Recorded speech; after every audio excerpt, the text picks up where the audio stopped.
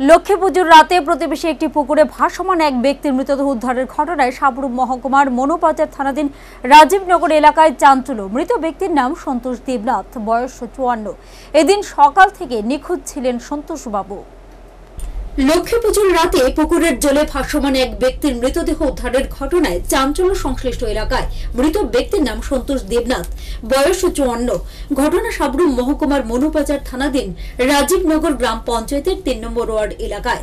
ঘটনার বিবরণে জানা যায়, রাজীবনগর গ্রামের বাসিন্দা মৃত সন্তোষ দেবনাথ লক্ষ্মী পুজোর দিন সকাল এগারোটা নাগাদ স্নান করার উদ্দেশ্যে বাড়ি থেকে বেরিয়ে প্রতিবেশী একটি পুকুরে যান।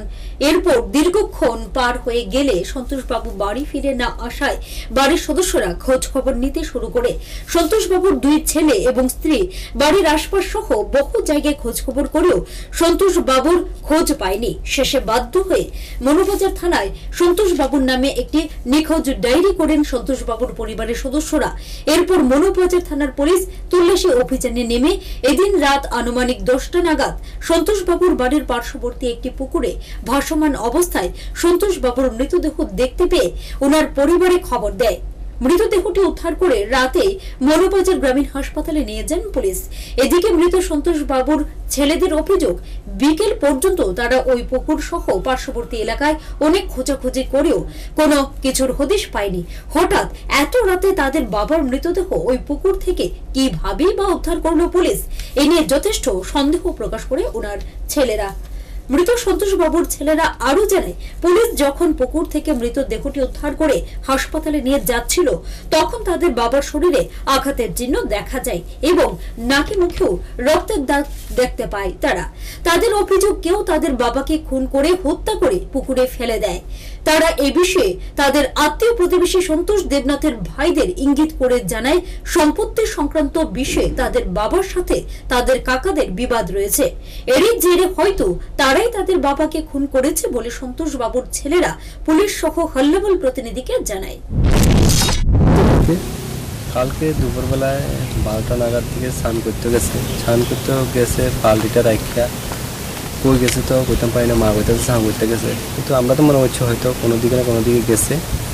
কিন্তু তখন বিকালবেলা যখন সন্ধ্যার সময় বাড়িতে আসছে মা করতে তো বাবা তো এখনও আসছে না স্নান করতে গেছে তখন আমরা খোঁজা খুঁজি চারিদিকে খুঁজে যে যে জায়গাগুলোতে ফোন করছি আমরা পাইছি না।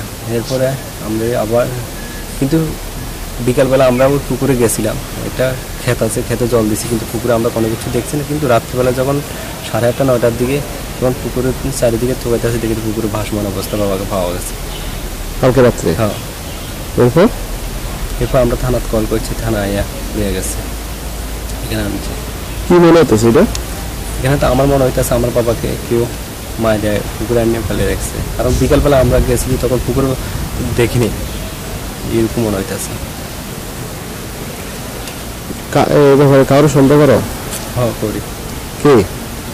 আমার বাড়ির আছে ও? বাড়ির আছে আমার কাকা কাকা আছে। আমাদের কিছু টাকা সম্পত্তি নিয়ে ভেজাল আছে। আমার কাকাকে আমরা সন্দেহ- করি বেশি। কাকা এবং তার ফ্যামিলি পুরো ফ্যামিলিকে কাকা বৃহস্পতিবার দুপুরে ময়নাতদন্তের পর সন্তোষ বাবুর মৃতদেহ তার পরিবারের হাতে তুলে দেওয়া হয়।